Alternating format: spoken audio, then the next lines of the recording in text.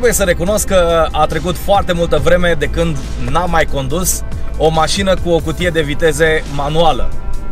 A trecut foarte multă vreme de când n-am condus o mașină cu un motor atât de mic. Și chiar dacă spațiul din jurul meu vi se pare unul extraordinar, să știți că nu conduc o mașină mare. O astfel de idee v-ar putea induce în eroare. Este mare spațiul interior, dar ea, în esență, este o mașină mică. Haideți să vă spun altfel. Este cel mai mic Jeep existent pe piață. Jeep Renegade este fără îndoială o idee pentru cei care vor să-și cumpere o mașină de buget, dar foarte practică. Cu plusuri și minusuri, vă prezint astăzi în Carvlog concurentul lui Ford EcoSport. Și pentru că sunt peste 19.000 de români care s-au uitat la, deja pot să-i spun, produsul românesc de la Craiova, la începutul acestui an am testat uh, Fordul EcoSport. Evident, avem acum o variantă pentru a, să spunem, înlocui EcoSportul dacă nu ne place cu un Renegade.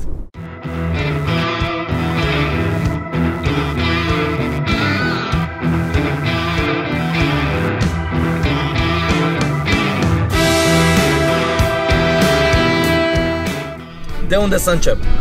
Zic să încep de la motorizare. Avem un motor pe benzină de 1 litru, este un motor în 3 cilindri, un motor uh, nu foarte sportiv, că nici nu are cum să fie.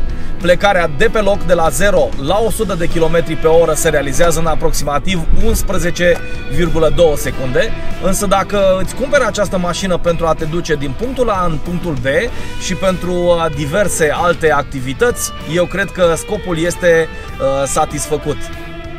Cutia manuală funcționează foarte bine, are 6 trepte de viteză și din ceea ce am uh, constatat, nuca schimbătorului, uh, de altfel metalică, este destul de generoasă, practic o cuprinzi cu toată palma.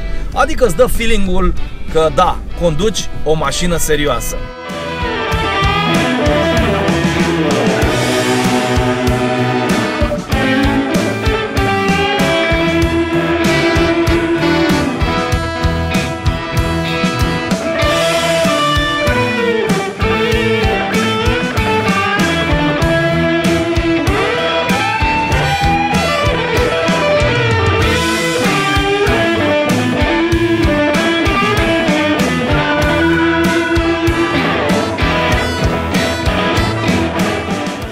Altfel, ea este mică, cel mai mic produs Jeep de până acum și primul care este construit în afara Statelor Unite pe un concept pe care îl împrumută acum, mă gândesc la platformă și modelele Fiat 500 uh, L și X.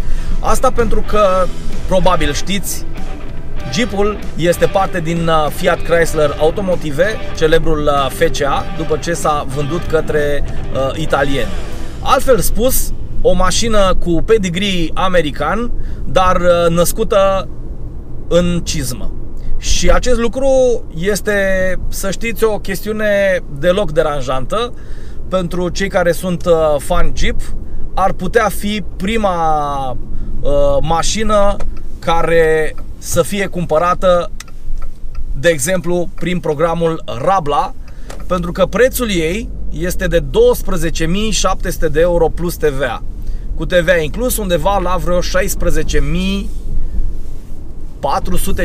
de euro dacă am făcut eu calculele corect.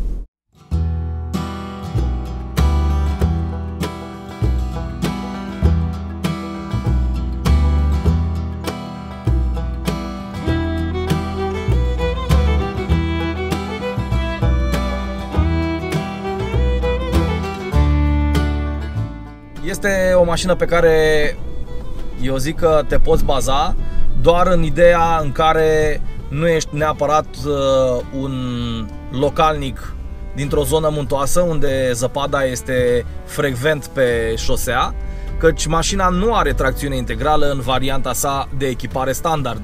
Adică la banii ăștia despre care am vorbit, nu primești 4x4. Uh, Ca să o configurezi în 4x4 și să mai ai și alte lucruri uh, în plus ca dotări, prețul mașinii se poate chiar dubla. În maxim, maximorum poate ajunge la 33.000 de euro, iar uh, pentru a avea măcar opțiunea de tracțiune integrală, undeva între 27 și 28.000 de euro. Aici, într-adevăr, se pune întrebarea dacă merită o astfel de investiție. Sigur că ne referim acum la varianta de buget și eu, sincer, văd ca și alternativă uh, această mașină la ceea ce vă spuneam, la EcoSport, cu toate că cred că și Renault Captur se regăsește în uh, această categorie, Opel Mocha, uh, da, vă mai pot da câteva exemple de mașini care într-adevăr sunt mini SUV-uri pentru că ele în esență par doar niște mașini obișnuite cărora li s-a mărit garda de la sol ca să poți să treci peste anumite obstacole. Într-adevăr, dacă două dintre lucrurile pe care eu le apreciez la o mașină, tracțiune integrală și, bineînțeles, cutia automată nu există, atunci este foarte discutabil dacă mie îmi place sau nu. Mie îmi place din punctul de vedere al utilității și al prețului, pentru că despre asta este vorba acum. Vă propun, repet, o mașină de buget la 12.700 de euro plus TVA, achitabil uh, banii minus uh, tichetul Rabla. Mi se pare uh, o mașină destul de accesibilă și totuși e altceva.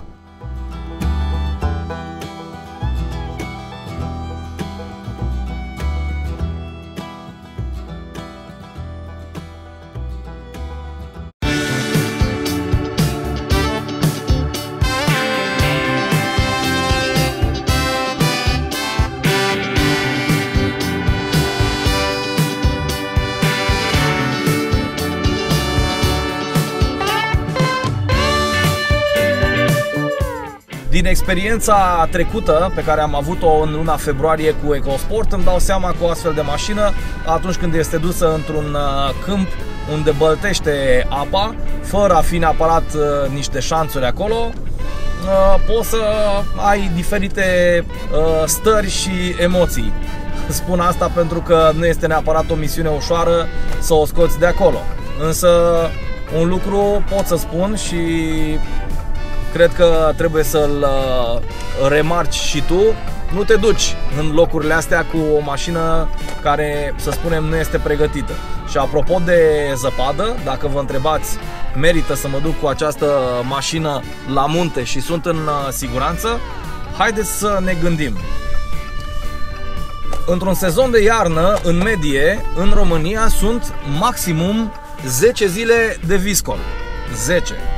Asta înseamnă că exact atunci, în ideea că nu se intervine pe asfalt, am putea avea reale probleme de aderență. Nu spun că nu sunt și zile cu polei sau zone înalte unde, să spunem, există în permanență un uh, strat de zăpadă de câțiva centimetri, dar de cele mai multe ori acolo își face apariția materialul antiderapant sau se uh, găsește zăpada în uh, starea ei bătătorită. Cu hopul ăsta pe care l-am trecut îmi dau seama că nici străzile asfaltate din uh, România nu sunt uh, neapărat cele mai uh, netede. Dar sunt într-o, într-o mașină care trebuie să se descurce și o va face atâta timp cât o mânuiesc eu. Despre asta este vorba. Există într-adevăr și am mulțumit unui taximetrist Asta este o onoare să se oprească un taximetrist să-ți cedeze trecerea pe o stradă îngustă. Există și uh, situații în care mașina face aproape totul, dar e foarte important și factorul uman din spatele volanului.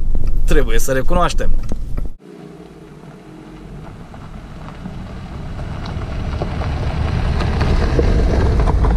Mergem uh, cu această mașină undeva unde asfaltul rămâne un pic în spate dar uh, pentru că îl văd așa un uh, mini SUV e mai mult de oraș și apropo de drumurile și de infrastructura din orașele noastre, cred că în fiecare oraș reședință de județ, dar și în capitala României, București, avem străzi de ordinul sutelor și nu exagerez, pe care asfaltul este doar o dorință, o năzuință a locatarilor.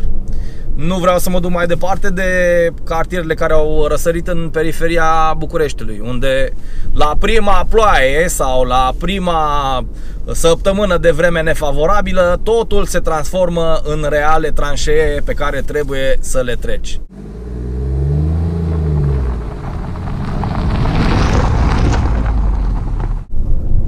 Pentru un soft off-road, acolo unde, să spunem, nu avem șanțuri, tranșee sau gropi extraordinare, dar unde asfaltul rămâne mult în spate, mașina e o variantă. Uitați-vă și voi la norul de praf pe care îl lasă cutiuța asta în spate. Nu jignesc pe nimeni, adică e un pătrățel foarte interesant cu roți, de aia îi spun uh, cutiuță, dar uh, altfel nu este absolut nicio problemă cu uh, mașina, din contră. Cred că îți poate satisface uh, nevoile basic și în momentul în care o să ajungem la interior, o să înțelegeți uh, că există suficiente dotări care să o facă o mașină actuală. Repet, la 12.700 de euro plus TVA, având în vedere că mașina este eligibilă pentru programul Rabla, are un motor de 1 litru, 120 de cai putere, Cred că am răspuns la foarte multe întrebări și nu are sens să mai lansăm și altele.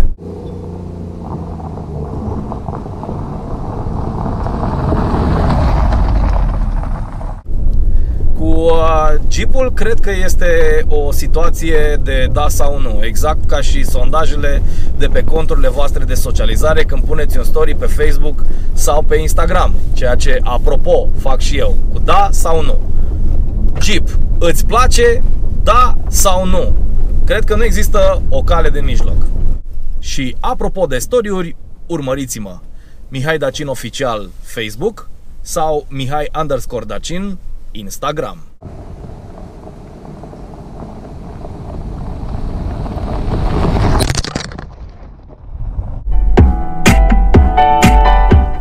Eu zic că se aude suficient de bine muzica în, uh, în interior. Chiar trebuie să verific ce sistem uh, avem. Nu e cumva uh, Beats, la fel cum a fost în uh, Jeepul Compass pe care l-am uh, condus și care, apropo, uh, imediat după publicare a avut două sau trei persoane din anturajul meu uh, interesate și s-a și vândut către un prieten. Uh, mașina pe care am scos-o în zăpadă, vă fac recomandarea chiar aici. Chiar dacă este o cutie manuală, ai un uh, indicator care îți spune la momentul potrivit shift up sau shift down în funcție de treapta de viteză pe care trebuie să o alegi, una superioară sau uh, inferioară, bineînțeles bazându-se pe ceea ce se întâmplă în uh, teren și pe reacția turațiilor motorului. Foarte spațioasă, sunet bun, cum mă simt în ea destul de confortabil ca și scaune. Nu i-aș da neapărat nota 10 scaunului. Traiectoria este una bună. Mașina se descurcă.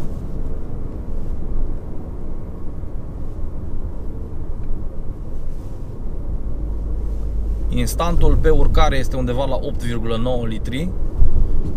Uop! Și gata, am părăsit asfaltul consumul mediu undeva pe la 9 litri. Dacă vin alții cu autobuzul, înseamnă că și eu ar trebui să mă descurc. Clar.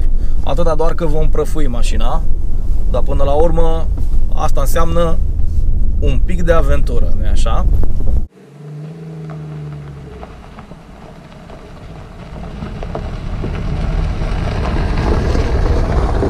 Să începem uh, povestea despre exterior de aici din lateral, unde clar avem un uh, cubuleț pe roți. N-ai cum să negi această evidență.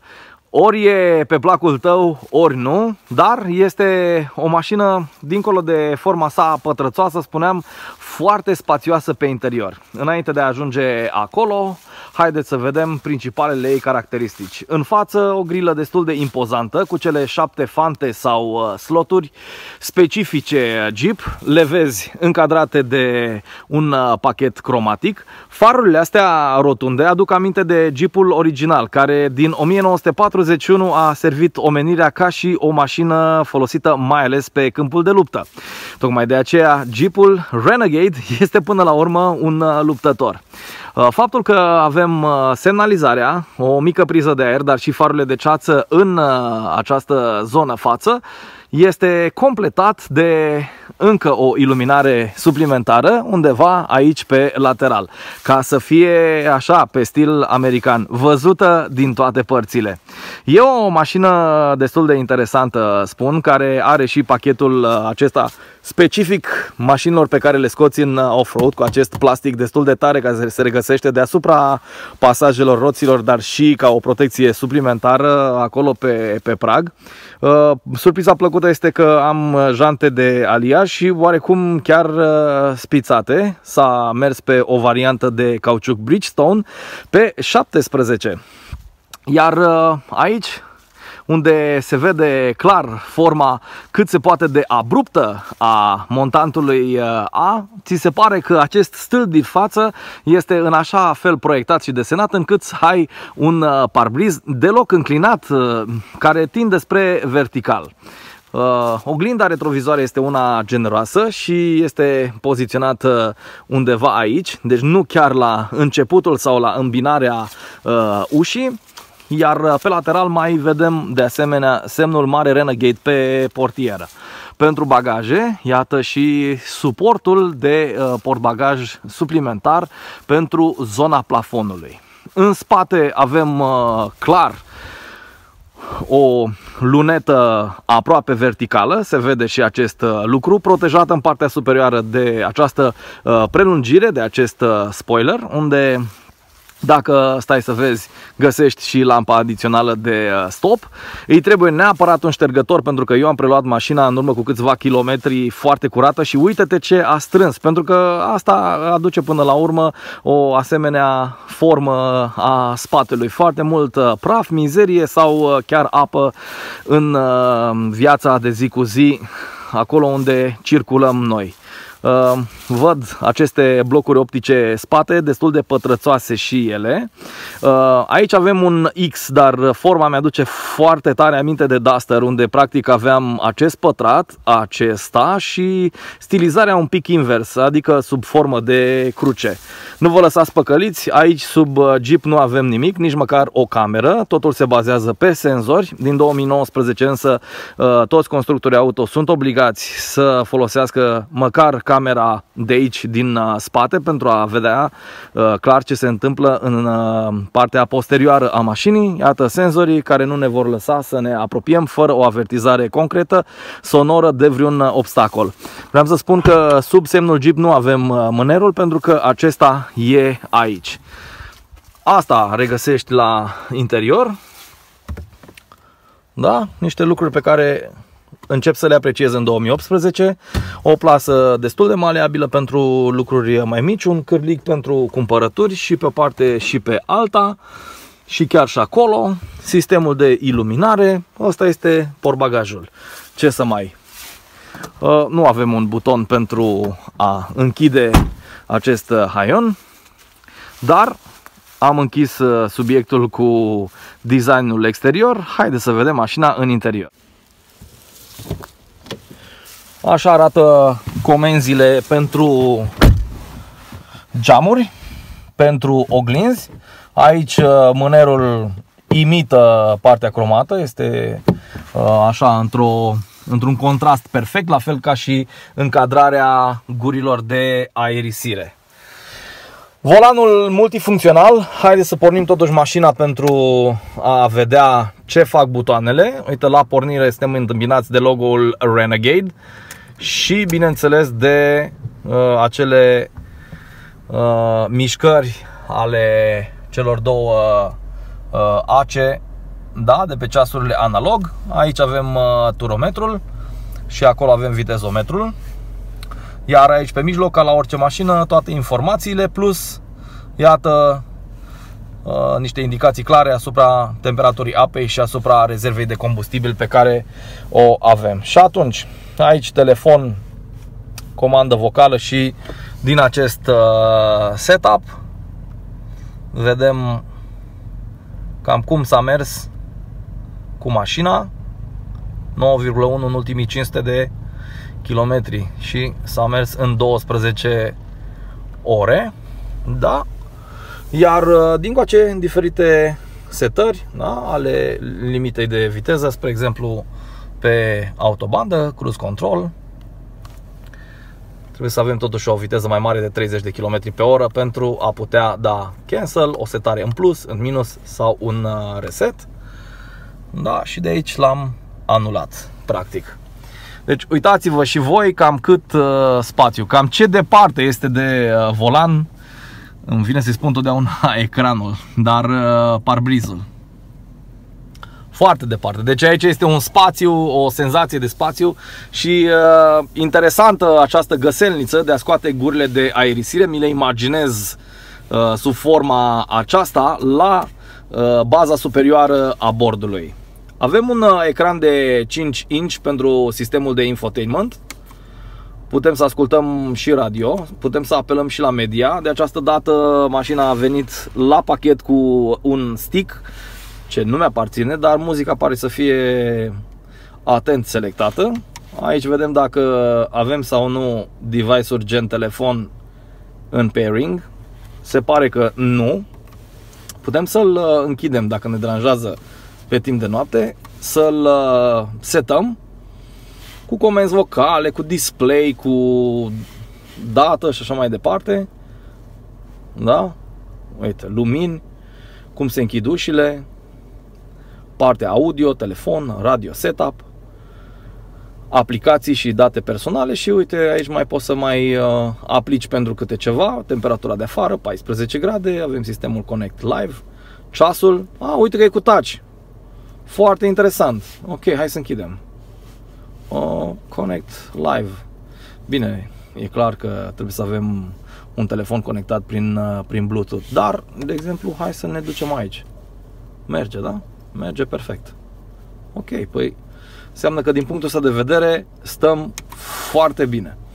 Și mai interesant este că exact ca la mașinile de teren adevărate, e bine, pasagerul din dreapta are un mâner aici destul de serios de care se poate sprijini pe parcursul drumului, măcar în off-road, dar la modul în care a fost setat acest scaun, cu tapiserie, că nu primești piele la banii ăștia, îmi dau seama că este atât de comod să stai acolo, încât nu mai e nevoie sau nici n-ai cum să ajungi fizic să uh, te ții. Să revenim și să continuăm. Discutăm despre sistemul de păstrare al benzii, da? care acum este activat, luminile de avarie și activarea senzorilor. În rest, un sistem de climatizare bazat pe aer condiționat și pe trei butoane funcționale. Aici, logo-ul Jeep. Mică zonă de păstrare probabil a telefonului, USB-ul care ați văzut concret cum uh, se insertează în acel uh, port, priza de 12 V, ochelari de soare, alții decât cei pe care îi port eu și aceasta este nuca schimbătorului despre care vă vorbeam. Iată, un schimbător manual în 6 trepte. Și mai tare îmi place că avem sistemul Auto Start and Stop, fiind o mașină de oraș. Este activat. Aici, pentru când ești în off-road, controlul tracțiunii s-a deconectat, ne arată și bordul, acum s-a conectat, da, prin simpla apăsare, iar frâna de mână este una electrică, ca și la alte modele, se trage de aici, se dezactivează după ce ai apăsat concomitent ambreiajul și frâna ca să poți să schimbi, nu? În viteza 1 și să pleci de pe loc. La fel cum fac și eu acum. Pentru locurile din spate, destul de mult loc, boxă generoasă pe fața de ușă, buton pentru a ridica sau a coborâ geamul și în spatele cotierei un port USB ca să nu rămână nimeni fără baterie la tabletă sau telefon. Mulțumesc că m-ai urmărit. Acesta a fost un nou episod din uh, car vlogul pe care îl desfășurăm în fiecare săptămână în zilele de miercuri și de sâmbătă. A fost uh, cu noi Jeep Renegade, o mașină mică, dar uh, capabilă să trezească niște senzații destul de interesante atunci când o scoți la plimbare prin pădure, ceea ce fac și eu în această după amiază după ce voi opri camerele de filmat. Adică vreau să mă bucur realmente de această mașină. Nu uita să te abonezi, să apeși pe clopoțel ca să fii notificat de câte ori fac upload și în plus să dai și tu un like sau un share dacă ți-a plăcut această mașină. Nu uita că în fiecare miercuri și în fiecare sâmbătă avem episoade noi, unele dintre ele chiar în premieră. Hai să ne vedem data viitoare și încă o dată mulțumesc pentru vizionare și pentru abonare. Acum să o fac pe rebelul sau pe renegatul